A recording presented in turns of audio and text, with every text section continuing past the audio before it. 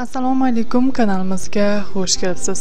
Qonda qand miqdorining ko'payib ketishi bu ham kasallikdir ya'ni qandli diabet. Ushbu video lavhamiz orqali sizlarga qandli diabetdan xalos etuvchi damlamani aytib o'tamiz.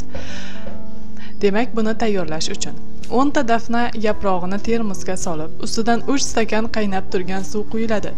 Ikki uch soat tindiriladi. Damlama kuniga 3 mahal ovqatlanishdan o'ttiz minut oldin yarim stakandan ichiladi. Bu muolaja 2 hafta davom ettirilgach 2 hafta tanaffus qilinadi. Damlama 2 hafta ichilgach organizmda uglevod almashinuvi me'yoriga keladi qand miqdori joyiga tushadi.